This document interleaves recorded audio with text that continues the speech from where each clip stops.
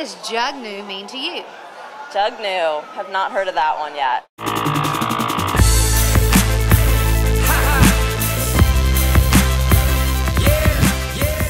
Hi, Lynn Maggio with Real TV Films here in our media lounge at South by Southwest. Right now, I'm here with Jenny, and Jenny has been a really good sport about answering some questions for us. So, Jenny, first of all, tell us a little bit about your company and who you're representing, what it's all about.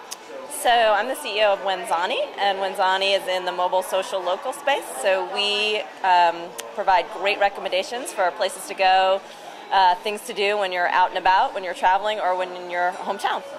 Cool. And so, how do you think South by Southwest plays into that with your company? I mean, it's a great place. We launched recently, so it's a great place to showcase what we're up to, and then also to help people find good places to go, and you know, find places like this. Good. Well, congratulations on your new company. Thank you. So I do have some questions for you, some Jug New questions. Okay.